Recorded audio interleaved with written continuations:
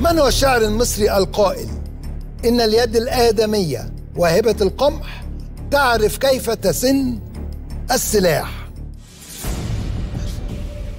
إن اليد الآدمية واهبة القمح تعرف كيف تسن السلاح. من قصيدة الطيور. كتبها سنة 1981 قبل وفاته بسنتين. مين؟ أنا أعتقد أحمد شفيق كامل. أحمد شفيق كامل. إجابة خاطئة.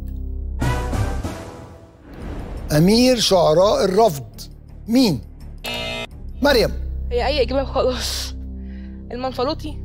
لا. المنفلوطي بالنسبة لي إجابة مضحكة. آه يعني دي تضحك. الإجابة الصحيحة أمل دنكو